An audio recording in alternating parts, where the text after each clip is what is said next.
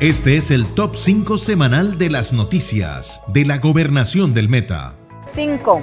El Meta cumplió con éxito el séptimo simulacro nacional de respuesta a emergencias. Tras conocerse la información entregada por los municipios inscritos, fueron evacuados 77.144 ciudadanos superando la cifra del 2017.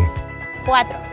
La gobernadora Marcela Amaya lideró el Comité de Justicia Transicional Interdepartamental Meta Guaviare en el resguardo indígena de Caño La Sal, Puerto Concordia, y se comprometió con una inversión de 2.700 millones de pesos para atender las necesidades de esta comunidad vulnerable. 3. La gobernación acompañó al ministro de Medio Ambiente a la instalación y puesta en marcha del radar de medición hidrometeorológica que monitoreará la parte hidrográfica del Meta y otras cinco zonas del país. 2. En el maratón de OCAD que se cumplió en Bogotá fueron aprobados dos proyectos por valor de 6.213 millones 547 mil pesos presentados por los municipios de Acacías y Castilla la Nueva.